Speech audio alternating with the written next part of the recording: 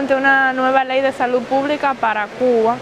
que ratifica los principales principios de la salud pública en nuestro país que han sido una premisa de nuestro proyecto social e incorpora todo lo nuevo y novedoso en materia de salud. Reconoce muy bien claro todo lo relacionado con los deberes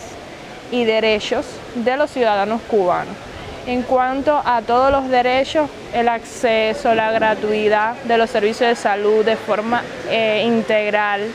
además lo, relacionado con la salud eh, reproductiva, los métodos de anticoncepción, el acceso al embarazo, las quejas y peticiones de, de las personas de forma general, así como los deberes de los pacientes en cuanto a no, no, dejar de brindar información oportuna, velar por el cuidado de las instituciones, respetar al personal sanitario. Y una vez aprobada esta ley en el orden jurídico, pasamos a un plano superior y ahora comienza un proceso de implementación de este esta ley ya aprobada en nuestro Parlamento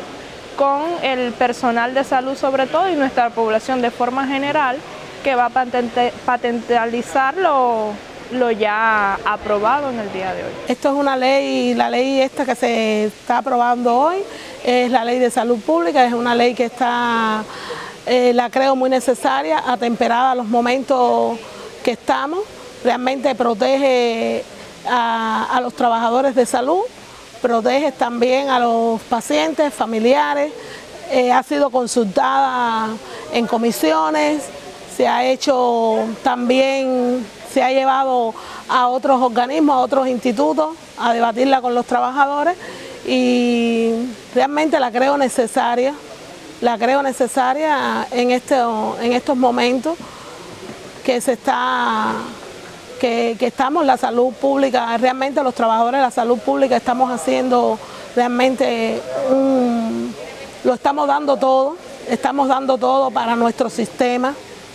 nuestro sistema socialista, y nada, eh, eh, o sea, es digno reconocer y aprobar, irla implementando en todos los, los centros a medida que vaya, que vaya evolucionando. Como novedades eh, de esta ley, lo referido a la dignificación de la muerte. ¿Qué sucede? Hace miles de años la muerte era considerada como parte de la vida misma y un poco más aceptado. En, el mundo actual, a través del desarrollo de la ciencia, el advenimiento de las tecnologías, las formas de morir han cambiado y se han modificado. La mayoría de los pacientes mueren en instituciones de salud, incluso en cuidados intensivos con la sustitución de órganos en el proceso de salvar al paciente